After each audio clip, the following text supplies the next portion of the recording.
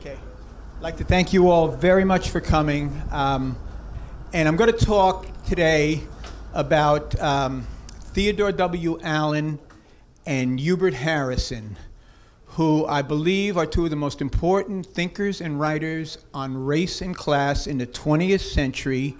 They are autodidacts, self educated, working class intellectuals, right? Harrison never goes to college a day in his life. Allen goes one day and found it too confining. He discusses Euro Indian relations throughout the Americas and certain particularities in terms of whether it's a continental colony, social stratification, how um, the, the, Spanish could come and take advantage of the hierarchy of the uh, Aztecs and Incas, you know, to uh, put them to work and maintain control, population density. But the key difference, and this is crucial for understanding that virulent white supremacy that develops here, is England alone, of all the European colonizing powers, was exporting European laborers. This is crucial, the demographics, right? So he talks about African migration to the Americas and points out what people may not be familiar with, that more Africans than Europeans come to the Americas between 1500 and 1800. He also points out the role of African resistance and keys in on the Haitian Revolution, its impact on the British West Indies, the US, Cuba, and Brazil. And he also makes the very important point that it was from Haiti that Simon Bolivar twice goes to regroup before he goes on his liberation efforts in Latin America. So it brings those ties and connections together. Allen discusses the Virginia Car uh, Charter it's set up, it's supposed to have all the rights, you know, that they had in England. Um, it's capitalist basis. He goes through, you know, stocks, you know, what people owned and all that. It's clearly capitalism. And why I'm emphasizing this, it's not simply the relations of production, which he goes into, and the financial interest, but it's not feudalism. Some people would say, you know, this is a feudal carryover. We're talking capitalism. Um, plantations were capitalist enterprises production monopolized by one class. They start developing the plantations in between 1610 and 16, after 1614, 1616. Um, the Powhatan, the Native Americans in the area of Jamestown were well provisioned in the first decade or two, uh, the preponderance of force. Uh, the English lacked the preponderance of force to, you know, really do very much in terms of pushing them out or anything like that in the early period, there's some intermediate forms of uh, bond servitude uh, that the uh, plantation elite, they start bringing convicts, vagrants, maids for wives, and duty boys. This is 1618. This is before the first Africans still, right? First Africans come 1619. He discusses that. Whatever their status was on the high seas, when they get to Virginia, they're not slaves because there's no slavery in Virginia. Um, key date, 22nd March 1622. They don't teach this one. On this day, the Powhatan Indians in the area of Jamestown rise up and they kill one third of the colonists in one day. And in the next year, another one third die. Right? Now, and there's the struggle. Now, what this sets up is what today people would, might call uh, a shock doctrine scenario, right? Because the ruling elite seizes on the vulnerability. The main food was corn. Corn grows high. They couldn't go out more than 50 feet or something beyond the confines of the fort to get supplies. So the ruling elite, who controlled the supplies, started imposing a new category on laborers. There had been free laborers, apprentices, uh, tenants at half, where they kept half of what they produced, all these capitalist relations of production. But after 1622, you see appearing in the records that people could be bought and sold to the heirs, and they could be assigned to other people. They call it the custom of the country, and that's the phrase you see in the book. Just like they, they later, with a sneer, would refer to their peculiar institution, the slave owners, or, or how they wouldn't put it in the Constitution, you know, the slave. So they called it the custom of the country, but it was chattelization of labor, buying and selling labor right? And Allen discusses how this happens. It's a break from the statute of artificers. It is not a feudal carryover. It's imposed as the custom of the country. Here are the statistics, and you've never seen these before. When I was in high school, I was taught about the, oh, way back there were Negro slaves and white indentured servants. They weren't white. They're not indentured. Look at these statistics. Three quarters were chattel bond laborers. That's not signing an indenture in England and willingly putting yourself in this status. This is being imposed. Allen points out such recruitment was generally coercive. Few were wholehearted volunteers. Many were kidnapped convicts, others. Right? And there's no, when I say that phrase, there also is still not slavery. There's not racial slavery yet in Virginia in this period. All right. So, for chattel bond laborers, and someone raised questions. Uh, again, Allen gets, does a nice job on a number of gender issues, but here he talks about the denial of family life. And there was more serious penalties, particularly on women, if they're chattel bond labor, because the owner, your owner, wants work out of you, right? And if you're getting pregnant, you're not doing it. So there were laws passed against fornication, adultery, and the penalties were invariably harsher on the women than on the men, right? Um, women were exposed to special oppression attacks. Children of, uh, of chattel bond laborers were considered illegitimate. 17th century Virginia. Allen makes this point. Morgan, to a degree, makes this point. Edmund Morgan. Lerone Bennett Jr. makes this point the conditions for European and African American bond laborers was very similar in this period. As Bennett says, it was no Garden of Eden. They were lucky if they finished three years. These were hard conditions, but there was much similarity in their conditions, right? Um, yes, chattel means you could be bought and sold. Traditionally, the way it was set up, you, you would be uh, the chattel of someone. Uh, you might be, have a, a, service of four. You're a woman, you might have five years, you know. They, they would do it the Irish. Sometimes they would do more African Americans. As we saw, they would sometimes try and extend it. But you could be bought and sold as a business proposition. I could pass you on to my children, my cousin, whatever, right? Your property. All right. Status of African Americans in the 17th century. Most people are not familiar with this. If you own property, and some did, some did, you could exercise marriage rights you could, you, there was social mobility. Some had significant land holdings. Some were owners of European American laborers, manifested many forms of resistance. Some could vote. This becomes very important later. All right. So Allen argues the status of African Americans in this period was indeterminate because it's still being struggled out, right? And see, with, these, with this plantation economy, the big problem was for the elite was how they're going to maintain social control people chattel, they want to run away. There's lots. There's a number of attempts to uh, up uh, ins insurgents to run away. Um, very key case, getting into gender issues again, and particularly the black family, but much deeper issues too. Case of Elizabeth Key. Elizabeth Key is a woman, child of a European American father and an African American mother. She was scheduled to complete her servitude when the estate she was bonded on sought to impose permanent lifetime st uh, status on her. Elizabeth Key goes to court because she could go to court back then. This changes, right? She goes to court. That's a rendition of Elizabeth Key. And she makes two arguments. One, that she had been baptized. Sometimes that one would work. Not always, right? Sometimes. But the second argument is crucial. She argues the common law principle. The, the law in England for centuries was the status of the child followed that of the status of the father The Latin phrase, partus sequitur patrum. Status of the child follows that of, of the father. For, for centuries, this was the law. And if those principles prevailed, we wouldn't have had what later developed, because the offspring of these, of these chattel laborers would be not chattel laborers, right? If it went after the father or but in 1662, the Virginia Assembly realized, boy, that's not the way we, we want to start taking this thing, and they changed the law, and um, they go to partus sequitur ventrem, the status of the child follows the status of the mother. Now that's key also.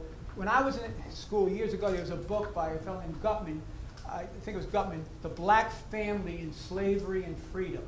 And that book starts in 1790. But you can't really address this issue if you don't go back and look at some of this stuff. All right.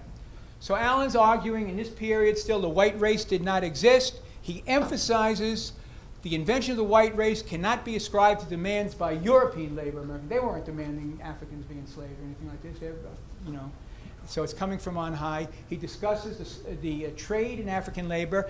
Another factor why there were so many English coming is because the Dutch were controlling the trade from Africa, and the trade routes would go to the Caribbean, but they're not coming up to Virginia particularly. So the numbers of European chattel bond laborers continued. Here in this period, 1680 70, 30,000 uh, European Americans came, 24,000 were bond laborers. They still hadn't had the full turn to African labor yet, right? All right.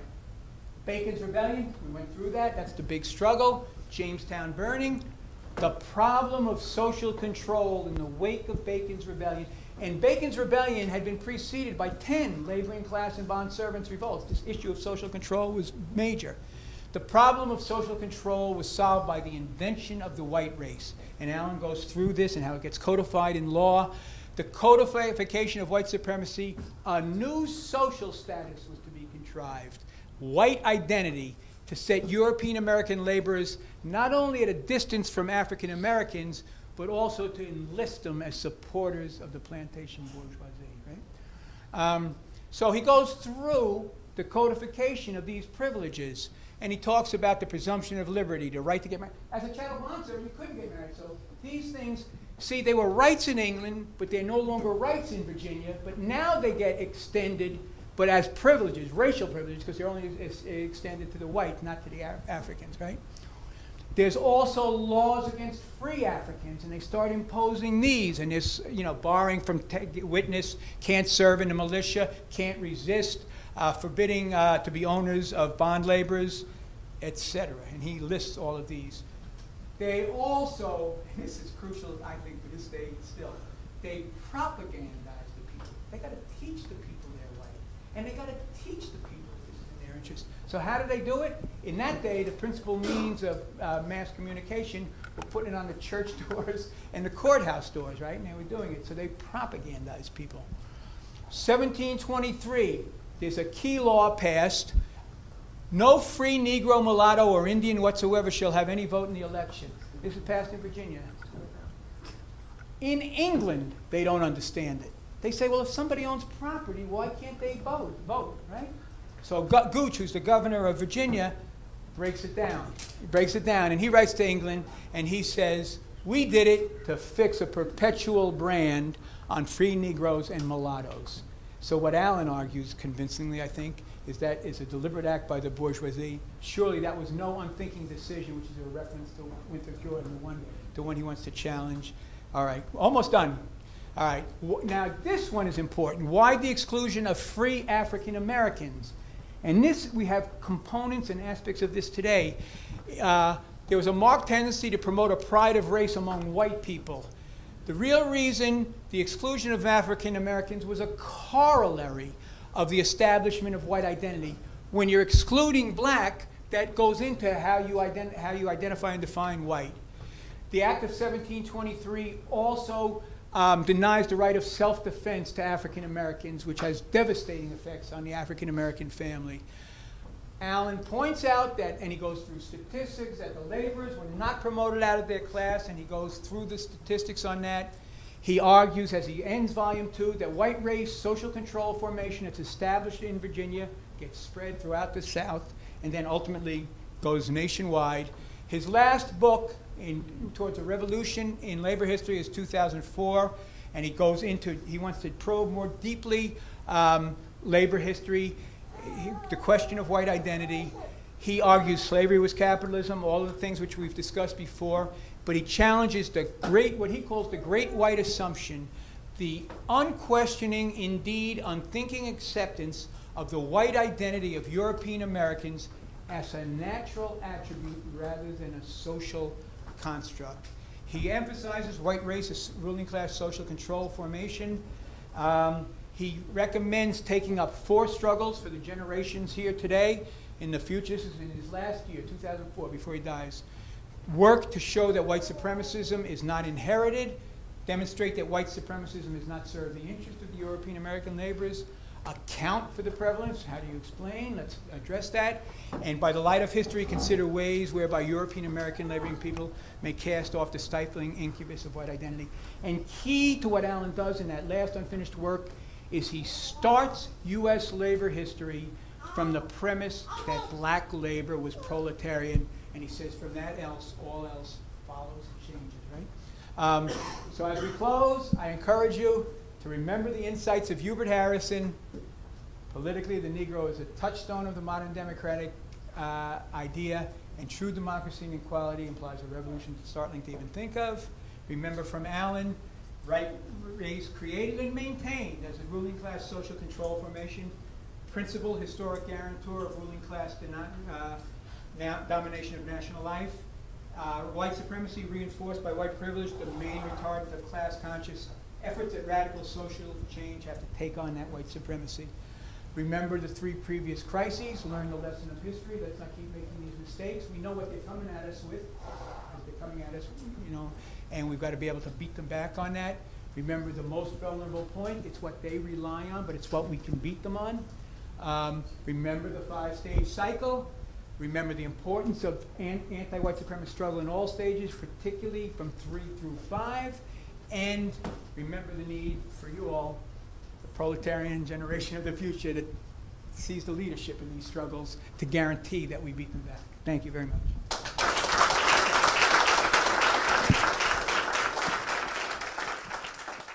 It's actually the work of Theodore W. Allen, right? I, um, I write about Allen. I have his papers, which I'm indexing and inventorying. And Allen's basic argument, for people who are not familiar with it, is as follows. Uh, he wrote two books in, on that subject, two-volume work in 1994 and 1997, and they've been reprinted by Verso Books last four, about four months ago, late in late 2012, and I did a lot of the new supplemental material for it. And on the back cover of the first volume, Allen wrote that when the first Africans arrived in Virginia in 1619, there were no white people there, nor would there be for another 60 years. And he points out, and he did this, he, Allen was a, an autodidact, a self-educated, working class, intellectual, anti-white supremacist scholar. And uh, he spent over 20 years going through primary records in Virginia so he bases his statement, when he says there are no white people there, he's pointing to the fact that the word white doesn't appear in any Virginia colonial records until 1691. And he went through 885 county years of records. That is, you take the counties that existed at that time in Virginia, all the records for one year is a county year. And uh, so it's very thorough research he did. And the word doesn't appear uh, and it's not simply that the word doesn't appear as we know it, you know, it's a symbol of so social status, but he argues, based on the records, that the white race as we know it was not functioning. Um, and when I say based on the records, he went through the records, but he's, he's a working class person, and he's looking from that eye. So he paid particular attention to wherever men or women, African, European, had, had a voice in any hearings, in any colonial record. And he actually went to these county courthouses and to the Virginia State Library and transcribed these, and then he'd come back and type them up at night. And these are all these records. I have thousands of pages, right?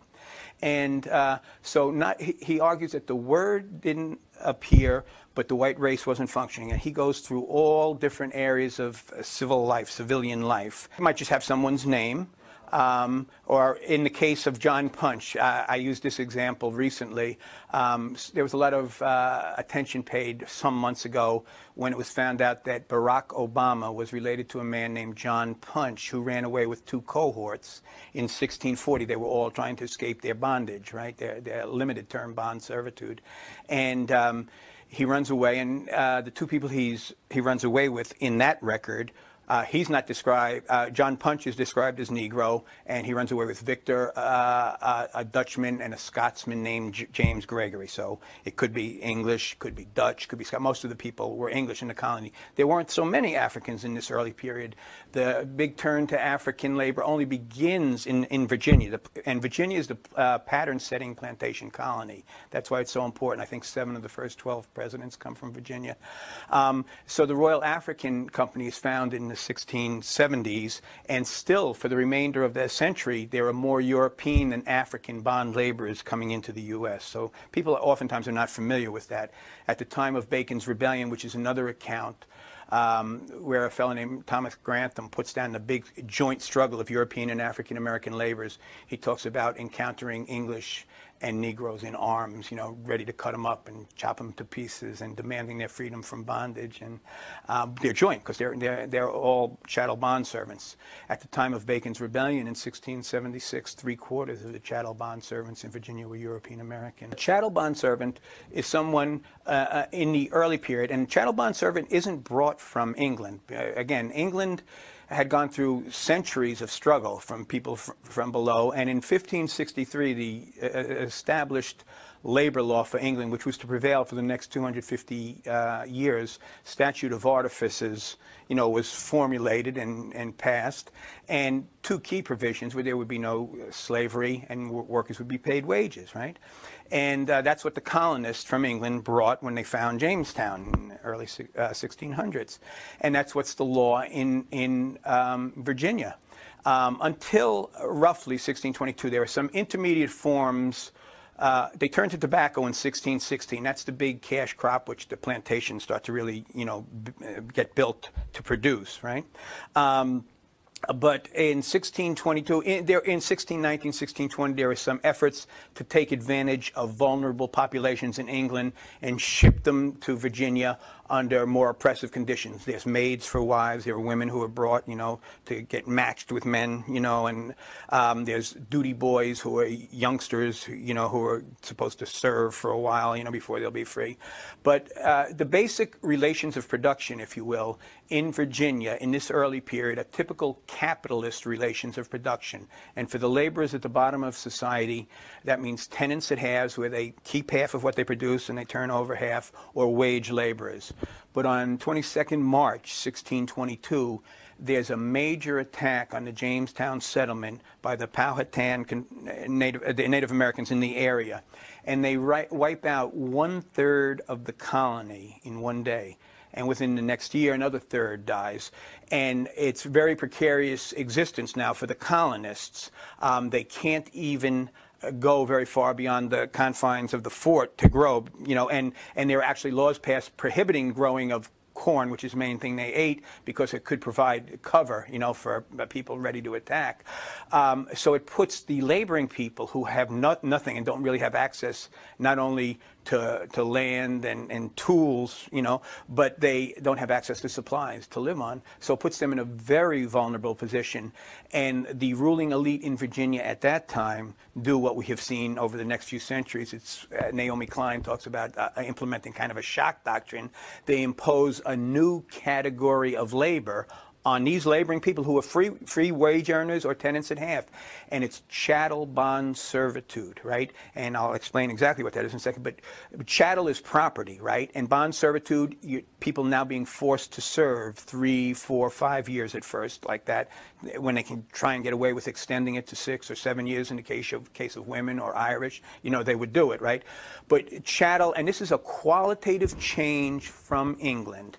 In the, in the Virginia records, you'll see it referred to as the, quote, excuse me, uh, custom of the country, right? Uh, a lot of people in this country have been taught in the schools, oh, they're indentured servants, right? And they sign, as if they signed indentures in England. This is being imposed in Virginia by a ruling elite on a vulnerable, mostly European population as the custom of the countries. It is not a feudal carryover. It's not, it's not a carryover from feudalism. In feudalism, there's a two-way bondage. You know, serf has responsibility to, to the lord, and the lord has responsibility to serf. This is a one-way bondage in which the bond servant can be bought and sold like property. Have, right? So it's qualitatively different, imposed primarily on European Americans at first. Its limited term chattel bond servitude is what Allen describes it as, and very accurately. And it really begins in, in, in, in, large scale eh, from 1622 on. And throughout the 17th century in Virginia, and that's the principal, as I said, plantation colony at that time, um, the majority of the laboring population and the majority of people who come to Virginia come as, you know, they're chattel bond servants. Again, people are not familiar with that. And the African American population is still relatively small, as I said, but conditions for chattel bond servants were very oppressive. A lot of them didn't live out there three, four, or five years. Uh, and um, so there was much similarity. And for African Americans and European Americans, they did what normal people would do under those conditions. They fought together, they ran away together, they resisted, they made love, they functioned as normal human beings. Um, conditions were also particularly oppressive for women um, in that period, and there were laws, because again, a more vulnerable group, you know, and they would, there'd be harsher penalties on some things. In this early period, when it's limited chattel bond servitude, there, is, there are also laws against fornication or adultery people are not allowed to have these relations because if a woman gets pregnant, that's time off from work, right? You only have five years. So particularly when you have limited term bond servitude. So these were, were violations. I mean, punishable by whippings and you know sentencing to extra servitude and things like this. And Allen pays particular attention to these things. And throughout his book, I mean, his antennas are up on questions of white supremacy as it develops, on male oppression. I think readers will find much in here, and I've, I've tried to make it a point in the index to help point them to a lot of material. And in new editions of the books, we have 25-page internal study guides in each volume. Um, but what I just mentioned about the um, fornication and adultery, Allen treats these as forms of resistance in this early period. It's very interesting, as well as petitioning in court, you know, things where, you know, the, the avenues that people had to resist. Um, later on, and I mentioned in a very significant case, which it's good for, I think, students of labor history to be aware of, is um, the Elizabeth Key case. And very briefly, Elizabeth Key is a woman whose uh, father was European, mother was African, of African descent, and she's a, a limited term bond servant. And there, there was some question, her parents die, and the people who had title to her uh, service, right? I uh, wanted to extend her to lifetime bond servitude. You know, again, if they'll try and extend things when they can. And she goes into court using the right of petition, right, which was available. She's African American by our definition. Well, she is African American. And she goes to court and petitions on two grounds. She had been baptized, and there was some tradition where baptism meant people could not be sentenced to lifetime bond servitude. Um, but the other thing that she argues is that it's English common law. Partus sequitur, forgive my Latin, patrum.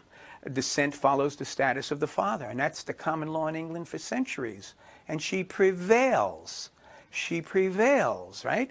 And but six years later, Virginia, the plantation owners say this isn't the way we want to go because later on, when particularly as they turn to racial slavery, they want those children of these women who, who, are being taken advantage of by owners or overseers or whatever. They want their children to be lifetime bond servitude. So, so there's a qualitative change, and they switch in 1662 descent following the status of the father to descent following the status of the mother. It's a qualitative change in laws, which people who study family and gender relations in this country should know. I mean, this is very, very significant, um, and that's how it, it went in Virginia. So what happens now with under these similar conditions, and there's a historian named Lerone Bennett Jr., who people may be familiar with. He was senior editor of Ebony magazine for many, many years. He wrote Before the Mayflower, which a lot of people in the 70s, 80s, and 90s um, were familiar with. One of his early books is The Shaping of Black America, Chapter 3. And in that book, he describes, not with all the primary sources that Allen had, but I don't think Bennett had access to all the primary sources that Allen did. He describes conditions very similar to what Allen describes, how conditions were very similar for European American, not, not, not great conditions, right? They're pretty oppressive, but there was much commonality of experience. And between 1660, when the price of tobacco takes a dive, and 1676, when Bacon's Rebellion starts, um, there are over 10 laboring class and bond servant revolts in Virginia, right? So it's a period of increased turmoil and labor solidarity. And so what Allen then argues, whereas there was no white race in the beginning and people were not identified as white, they were English, French, Angolan, sometimes Negro, sometimes Angolan, you know, it depends on who's writing the records too. Um, uh, Allen argues that after Bacon's Rebellion, in Bacon's Rebellion, it starts out I won't go into great detail on this, but Allen does, um, as a struggle between the elite and the sub-elite over the rate of expropriation of the Native American population. Uh, essentially, as is so often the case, the ruling elite likes things the way they are, and they try to main, they actually try to maintain friendly relations with neighboring uh, Native American tribes because they would help control runaways, right? They would have agreements on that. Whereas the new plantation owners on the make, the up and coming plantation owners, they wanted more access to land for to expand plantations and larger plantations. So they took a much more aggressive policy. So Bacon's rebellion starts as an elite sub-elite struggle over rate of expropriation of land from Native Americans. But in the latter stages, the second Civil War stages, it turns into, as often happens, a struggle which engages the people from below, and that's those who make up Bacon's army. Bacon dies, but they, they go on and they push their demands, the, the labor, uh, chattel bond servants and free laborers supporting them, demanding freedom from bondage, one of the principal demands. And um, in Bacon's rebellion, they kick out the governor, they burn Jamestown, and the rebels control six seventh of the colony for about nine months. It's a very significant struggle. Um, in the wake of that, the ruling elite decides they have to devise a means of social control.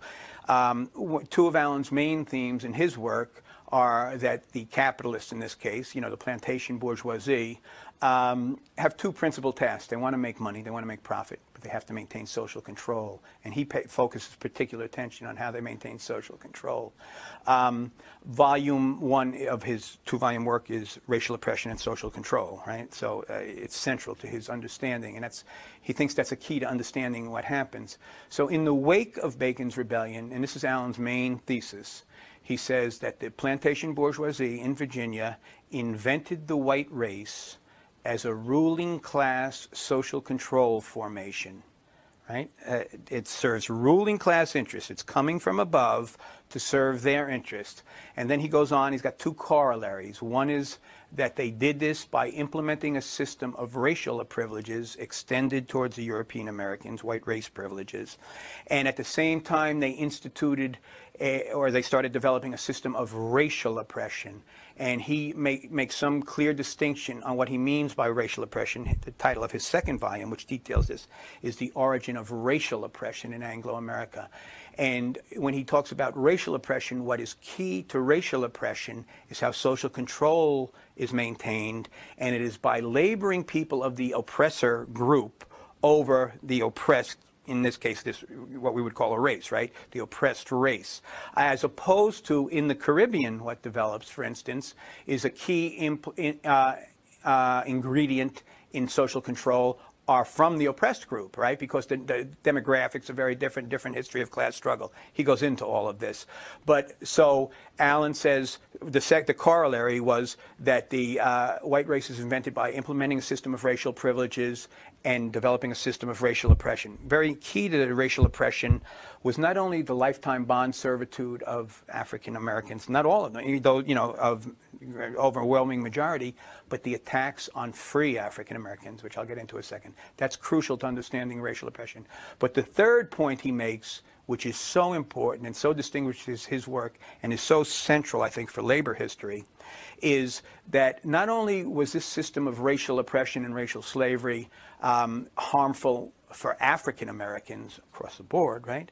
But that it was also ruinous to the interest of laboring class European Americans, right? Clearly, he sees it's in the interest of the ruling elite but for laboring people, this was not the way to go. You know, what, what was far better was that solidarity between European Americans and African Americans. But what the uh, plantation elite was able to do in Virginia when they created this white race was to and then they had to propagandize it. They put it on the church. He, he details again all of this. They put it on the church uh, doors, and they, the sheriffs are posting it, the me means of mass communication of the day, and they're constantly indoctrinating people in it. And there's penalties for doing things. You know, it's a process. White identity is nothing natural. I mean, people, people were not white. A Allen's very clear the push for the for the invention of the white race and the push for racial slavery was coming from the plantation bourgeoisie. He says this was not a demand coming from the Euro, uh, European American laboring people, right? And he, and he goes through instance after instance.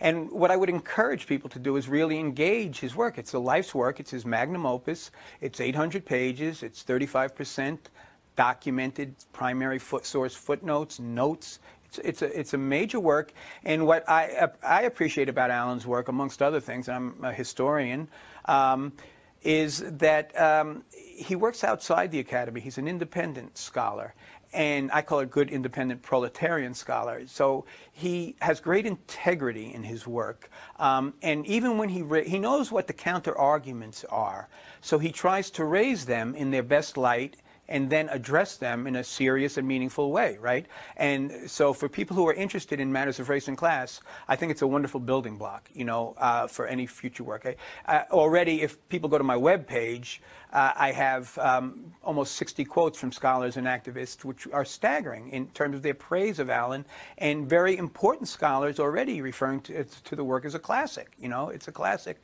um, and it's just uh, uh, the task is to get more people to engage it and become familiar with it, because I, again, I'm quite convinced it's a major building block for understanding U.S. labor history. What I wanted to speak about before for a second, aside from the point that Allen makes, I think rather convincingly, that this demand was not coming from the laboring uh, class European Americans, is um, the two main arguments. When he's arguing that it's ruinous uh, to the interest also of European American workers as well as to African Americans, he winds up taking on two main arguments. And these arguments are crucial, I think, uh, in terms of labor history and in terms of working people, understanding their own history and struggling forward. And he takes on what are the two main arguments um, that undermine struggle against white supremacy by European Americans.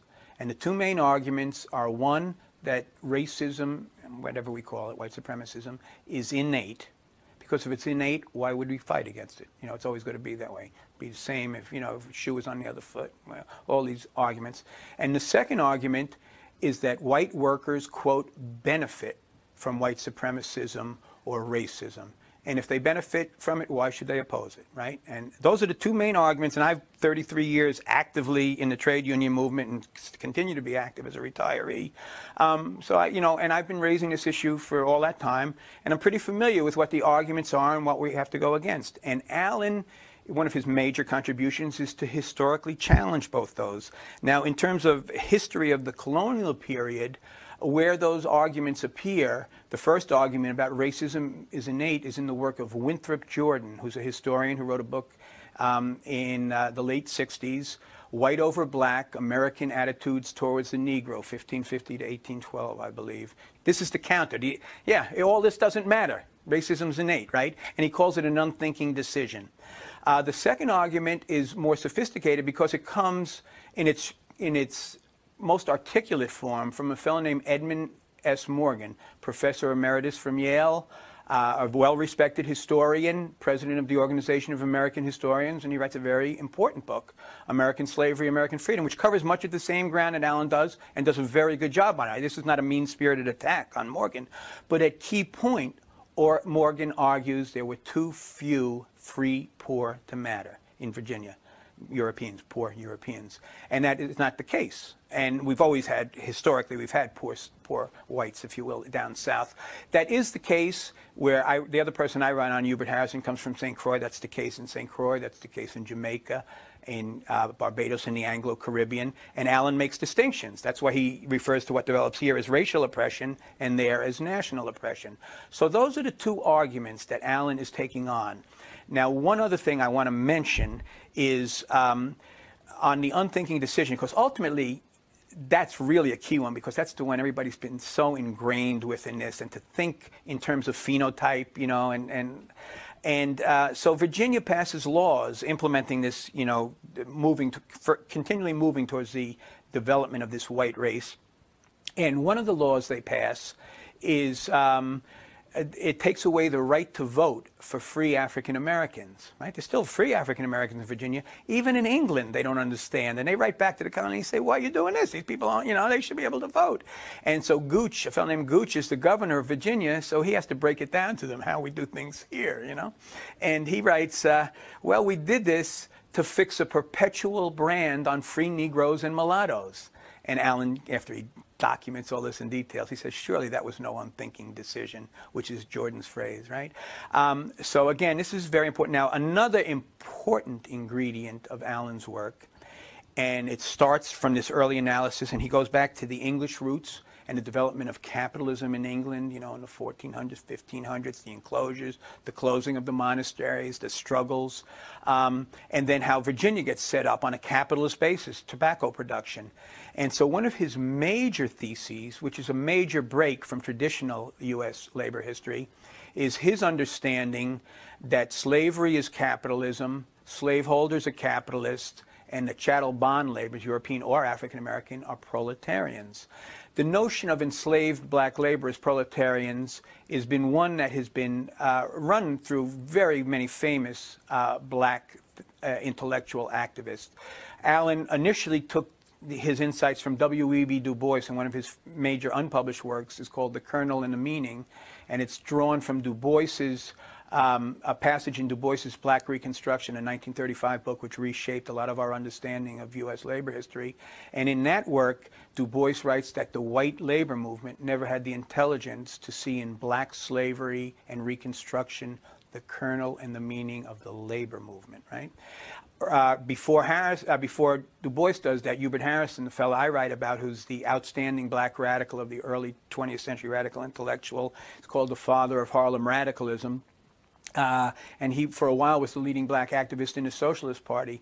And he similarly, back in the journals, in major theoretical pieces in the Socialist press, describes the black labor as the ultimate exploited, kind of the quintessential proletarians, right? C.L.R. James. And in, in the art, an article I've written, The Developing Conjuncture and Insights from Hubert Harrison and Theodore W. Allen on the centrality of struggle against white supremacy, I go through a number of these famous writers and authors and historians of the South, Gray, um, uh, Phillips, a number of people who all are very clear this is capitalism. And if this is capitalism, Allen then goes to the next step. If this is capitalism, if the slave owners are capitalists or the plantation owners are capitalists, and the labor force is chattel bondage, uh, chattel bond are, are proletarians, maybe not originally, maybe the original, but they're reduced to this status, right? And this is what's now imposed. Then that redoes so much of labor history. And amongst other things, what it does is it provides us an opening to understand and see both the centrality of the African American struggle to our general struggle in this country, but the key role that African American laborers have played in labor history in this country. It tears the cover off many white labor betrayals of black labor, uh, particularly a, lot of the, when I was growing up, a lot of the history I was being fed, U.S. labor history was starting in the early 1800s to the birth of the labor movement. Uh, but black workers were outside the labor force, so it wasn't really a betrayal when they didn't, when the European American workers didn't support abolition or anything like that. Of course, black laborers supported abolition. They didn't have any problem supporting it. Or in England, the Chartists, you know, supported the labor labor class movement, right? Supports abolition. But uh, this assumption that somehow it was not in European American laborers' interest to support um, African American. So it tears the covers off. But another important point that Allen makes is that it's only by going back to the colonial period that we can understand the origin of this white race thing, right? And that we, it's very important for us in our generations now to understand this and to see it for what it is, a ruling class social control formation. And the only way that that can be understood, he, he's arguing, is to go back to see how it's set up and for what purposes, right? For ruling class social control. Um, and he's really posing a challenge to what he calls the great white assumption. The, you know, just an assumption that this white thing always exists, that there's something to it and uh, uh, that it's, it's just there, it's automatic. And then when I grow up, in the period I grow up, 1960s, uh, in that struggle of civil rights struggle, black liberation struggle, there's a move away from Negro, right? Uh, it's a new generation, new period, and they're posing a challenge, and uh, there's move to uh, black, uh, African American, African, you know, va va variations, but they, they move away from Negro again as a progressive step forward, and you know, helping to push the struggle forward. I'm pretty clear, um, I myself, that there's nothing positive in identifying as white and we have to challenge. Um, we have to challenge. What does that mean? What is it? Um, again, my experiences, and I've been fighting, on, uh, you know, affirmative action issues, lots of issues related to this for many years. But in the early 1970s, uh, some of the main cases that we use to challenge affirmative action, the Bakke and the Weber case, Weber in, in terms of labor, Bakke in terms of uh, admissions, college admissions, are premised on this notion of white rights, right? I think it's all got to be challenged. And I think for European Americans, as part of the struggle against white supremacy, um, we, we want to understand the origins of the term, the concept, what this thing is. Uh, Allen also, just to distinguish him from some other uh, people, in the academy now, he's the founder of the notion of white privilege, but Allen's notion of white privilege is rooted in race and class analysis in the 1960s. He writes pamphlets which shake SDS. National SDS winds up declaring a wall, uh, an all-out national uh, uh, challenge to white skin privilege in 1969. New York Times has a feature article on it. But this is not the white skin privilege many people today know. If you go to Wikipedia today, you'll believe that white skin privilege uh, starts with the invisible knapsack and Peggy McIntosh in 19. Uh, it's got its origins many years before, and it's rooted in race and class analysis, right?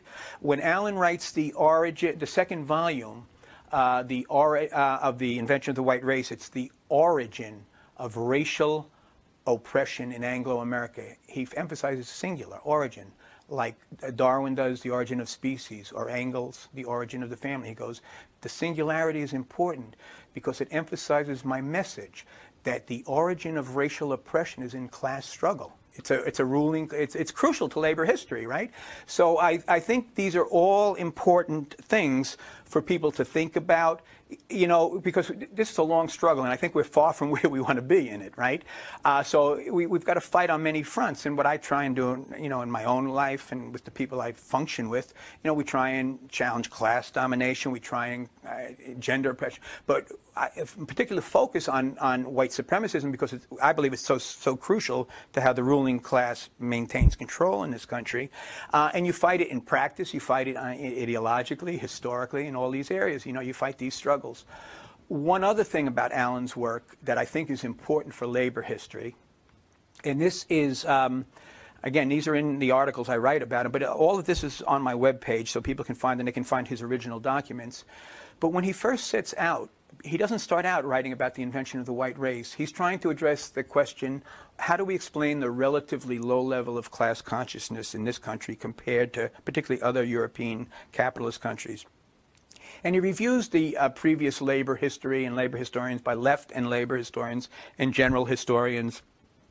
He argues that they put together a general consensus, a six-pronged rationale, and he goes through each of the six prongs, the heterogeneity of the workforce, the free land safety valve, you know, he goes through these things. And he argues that each and every one on close inspection is shown to be shaped deeply by white supremacy and more myth than reality. The free land wasn't really going to laboring people. The railroads were gobbling, you know, uh, whatever issue we look at. And heterogeneity, rather than being a weakness, maybe was a strength in many ways, right? Um, and so he goes through all that, which is an important thing. But then he looks at, and this is crucial, he looks at the three previous major crises in U.S. history those of the 1870s, the 1890s, and the 1930s, when laboring people and people at the bottom of society began to come together to push for changes from below. And he makes the very important argument that in each and every one of those periods of struggle, what the ruling class did, to, what they turned to to beat back struggle from below was appeals to white supremacy. Now, I'll give examples from the Depression because I think they're very clear and they're more recent. But if we look at the Depression, um, we look at a fellow named Ira Katznelson up at Columbia University has written a book when affirmative action was white. And he basically makes the argument that each and every federal program from the 1930s into the 60s was shaped in a white supremacist fashion. So if we look at the national labor, the labor legislation, National Labor Relations Act, the Fair Labor Standards Act, even Social Security until 1951, they're all shaped in a white supremacist fashion. Why and how? They exclude domestic and agricultural workers. That's 75% of your black labor force down south, right? 60% nationwide. You look at relief, it's federal money, but it's controlled locally, meant great disparities down south. We, right here, as we do this interview, are in the New York area. Another big thing was the GI Bill. Under the GI Bill, you can get a home with zero down payment and low interest loan. Statistics for the New York, North Jersey area are 67,000 GI loans were awarded, less than 100 go to families of color. That's how you get the ring of white suburbs around New York and every other city in this country. And the fourth one, which I would love to see more labor historians and students of labor history pay attention to, is, I think, crucial. And that is the unemployment ratio. As long as I've been alive, as long as anyone in this room has been alive, the black to white unemployment ratio has been two to one or some variant of that, right? But it wasn't always that way. In 1929, at the start of the Great Depression, the black to white unemployment ratio was one to one which makes sense if you think about it, because black people are brought here to labor, right? It's only after those programs of the New Deal and the post-war employment stuff that by 1947 the black to white unemployment ratio is two to one, and it's basically remained that way in some or some close variant ever since. There's much more to this analysis, but it's in again in Allen's work and in my work on Allen. I cite people to the original sources when Allen's last book was Toward a Revolution in Labor History, and he starts paying particular attention going back through all the uh, 19th century and how labor how the labor and Working Men's Association didn't support abolition, how the National Labor Union didn't support demands coming out of the Black South in Reconstruction period. He goes through all this, and my work in, is focusing on the 20th century, on Hubert Harrison and the Socialist Party gets into that.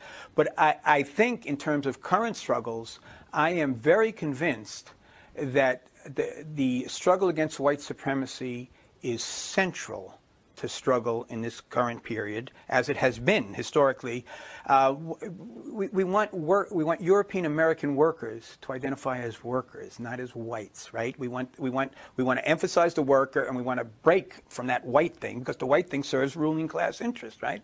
Now, I did 33 years in the post office and I have on my webpage, and it was posted someplace, I, you know, I've got actually lots of material which I have to, um, write on, and I, I, can speak from the postal experience as one concrete example.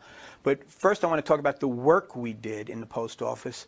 And uh, from the uh, early 80s on, for a, a pretty lengthy period, I, I, was elected head of one of the unions at a big 4,000 worker postal facility in Jersey City, the Bulk Mail Center. Big facility, uh, mixed workforce, and um, Jersey, City, you know, working class town, mile in perimeter, big, big factory. It's a big factory.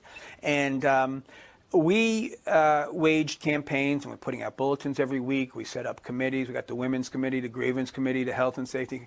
But every issue we looked at came from this perspective, uh, which I learned from Hubert Harrison, the other person I write about. And every issue we looked at, how is white supremacy shaping this issue? Because there's not an issue you can, you can touch in the workplace or in society in U.S where white supremacy is not a shaping factor in that. In my longer article, I go through um, you know, every area, uh, employment, healthcare, life expectancy, incarceration, we, you know, we can go over them.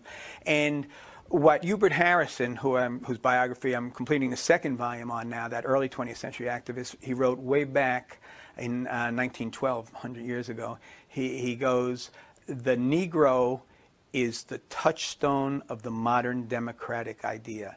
And a touchstone is an extraordinary metaphor because a touchstone is a black stone. You rub it against gold to see if, if the metal is really what it's supposed to be. And any issue we look at in society, I think we want to approach from that perspective. We want to look. In the workplace, we'd look at discipline two workers, same offense. Black worker might get twice the, the get a two-week suspension. White worker gets a one-week, right? Um, the, the uh, light-duty work for pregnant women. The black women treated much more harshly than the, the European American women, right? Every issue we looked at, health, you know, work conditions in the workplace, it's not hard to find. I mean, we fight, you know, on behalf of working people on all these issues, but you have to be aware that there's this other element shaping it, and you have to, as a, a central part of your work, go after it. But we were steady. It wasn't we waited for incidents and then we got to jump, you know, through the roof about, oh, look what happened here, there. We were steady, you know, making it part of everybody's life. So it's wonderful work. I think work, I, it pushed, we led the statewide anti, we helped coordinate the statewide anti-apartheid struggles. In Jersey City, which is racially polarized, like parts of New York, parts of Brooklyn, people may be familiar with and things like this. Jersey City, Bayonne, there's a lot of racial polarization. At, at one point, we had 3,000 2,000 out of 4,000 workers in this facility wearing anti-apartheid buttons. It was staggering. You know, it is possible.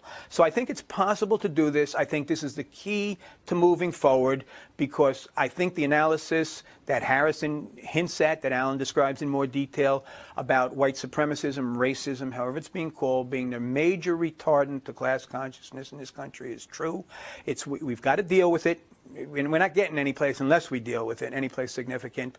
And I think it can be done. So I'm very optimistic, and I base it on practical experience. Now, one other thing uh, I want to use an, uh, just to enlighten uh, listeners. Another example of how the ruling class turns to white supremacy in response to labor struggle.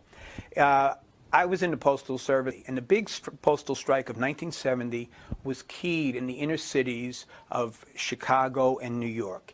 And it was particularly Chicago had a very high percentage black and Latin workers in their workforce, as did New York, very high. And um, back then, Wall Street ran on paper. Business Week did a 28 page special you know, what's going on here? Because they couldn't get their paper to run. And Nixon's the president, and he's catching hell, right? Nixon is catching hell. So the ruling elite has got to do something about this. To make the story a little short, what their response was, there are several aspects of it. One is um, the uh, Nixon sets up a uh, postal board of governors to act as a buffer between because it was he was directly had answerable at that time. So now he has somebody he can blame, the board of governors, right? That's one thing he does. A second thing they do is they recognize certain unions. Four, as a matter of fact, to make it more complicated for organizing, uh, the one union they don't recognize, the one group that wants representation rights, is the National Alliance of Postal and Federal Employees, which is a 95, 99% black organization that had started in 1913 when Woodrow Wilson became president and uh, uh, segregated federal workplaces, a number of federal workplaces, and a lot of other things. And they'd been around. So they didn't recognize them, but they recognized the rural letter carriers, the letter carriers, the American postal workers, and the mail handlers, which was the union I was. But the mail handlers was taken over by LIUNA, which is a mob-controlled union. This is laborers. The shirt I have on, I brought that for a purpose. Um, and laborers, in 1986, government did a big report, one of the four big mob-controlled unions in the country, right? So it's like willingly let organized crime come into your postal workforce, too. And it, this particularly had much to do with the mail handler health benefit plan, which is second biggest in the federal sector. There's all kinds of entangling interest. But here's the third, another thing that they did besides everything I've described, and this is crucial the Postal Service, and there's a lot of this in the congressional record, they turned to a new system for, for working the mails, a hubs and spokes system similar to what the airlines run.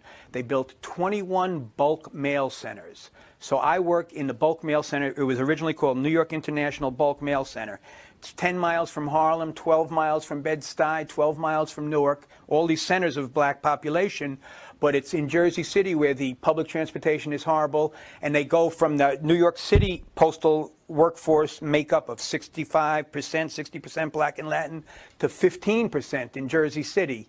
Every bulk mail center in the country, they built 21 bulk mail centers. They're all named for big cities, but they're outside. The one for Chicago is in Cicero or Cairo, one of these places where the Klan marched, right? And it's a, it's a conscious turn to a whiter workforce. This is in the early 1970s, but you read in the congressional records, why did they do it? And you see these, it's code words sometimes. Oh, we got to go back to those workers we used to have, you know, and things like that. But again, it's part, I think, consistent part of the, not that it can't be struggled against, because we did, we, we some very good struggle against it. But, so that's from my own personal experience, one place. But overall, in answer to your question, I think for the labor movement, for working people, you know, for people from below in society. We want to wage that struggle, class, it, you know, class interest clear. We want, want on behalf of poor and working people, but we have to understand that white supremacy is central to how the ruling class maintains control. It's key to what they're going to use to try and divide us. We have to struggle against it daily, and we have to know another key point Allen makes is how in the key periods that's what they really turn to. So we have to be ready as we start having these overtures coming together. That's what they're going to come at us with and try and break us. So.